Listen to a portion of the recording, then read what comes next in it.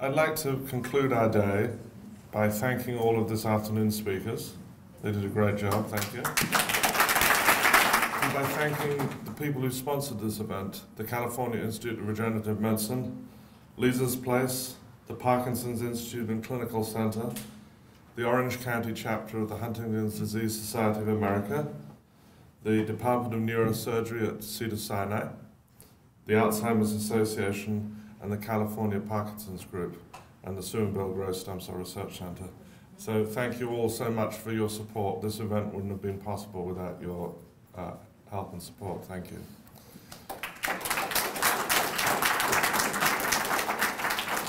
It would be remiss of me too not to thank uh, Chris and Lorraine Steele and the folks at CIRM who put this whole event together with the staff here at the centre. Uh, Chris and Lorraine, thanks for all your efforts on behalf of the patient advocates.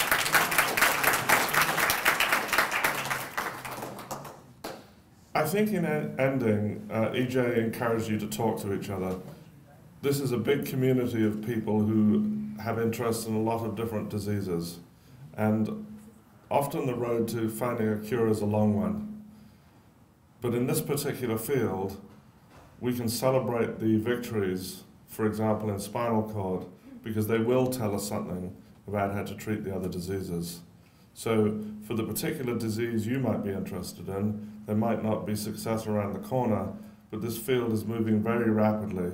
And I think we can all work together to celebrate those victories. I'd encourage you to hang around afterwards to talk to each other, learn more about the work that you're doing in your particular field, and really support each other in this uh, cause really to develop stem cells and stem cell research to treat uh, a wide variety of human diseases.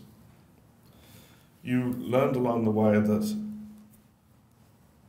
one of the things you can do to um, alleviate disease is live a good life.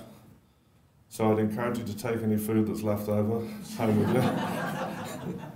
Please do so.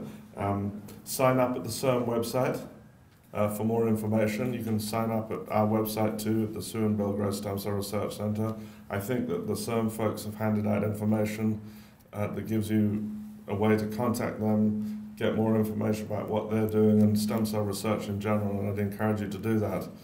And as a number of people have said, learn about what this work um, entails.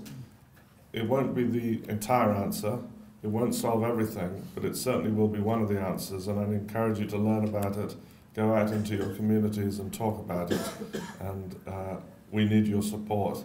I've often found that when lay people come to the Stem Cell Research Centre, they're often inspired by the scientists. But I want to tell you that the scientists are really inspired by your courage in the face of enormous adversity.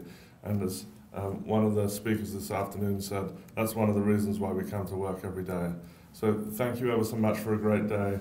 And uh, hang around, talk to each other, take the food, and uh, thank you all for coming.